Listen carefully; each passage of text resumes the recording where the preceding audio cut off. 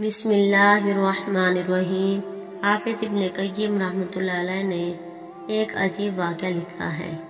वो फरमाते हैं कि एक चुनटी, एक मर्तबा अपने बिल से निकली।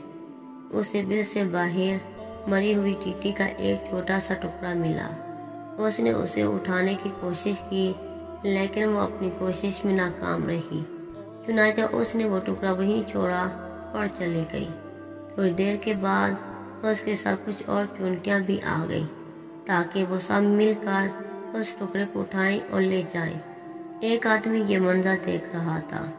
उसने उस टुकड़े को ज़मीन से उठाकर छुपा दिया। सब चुनटियों ने उस टुकड़े को इधर उधर तलाश करना शुरू कर दिया।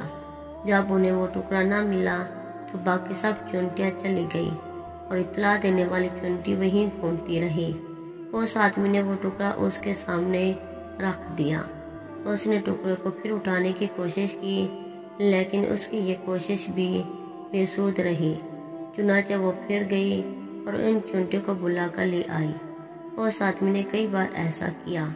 बिला आखिर इन चुनटी ने तंग आकर इस चुनटी को घेर में ले लिया और उसके जिस्म का एक एक वज़ू अलग कर दिया।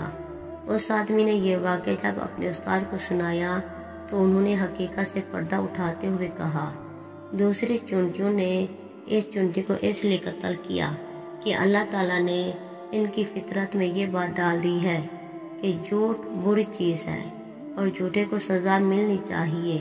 अगर चाहे, इस टुकड़े के ना मिलने में इसका अपना कोई कसूर नहीं था। लेकिन क्योंकि वो चुनटी इनके नज़दीक झूठी साबित हो चुकी थी, इसलिए इन्होंने मिलकर उसे जान से ही मार दिया। झूठ इस कदर नापसंदीदा चीज़ है कि इंसान के अलावा दीगर मखलूक भी इससे नफरत करती है।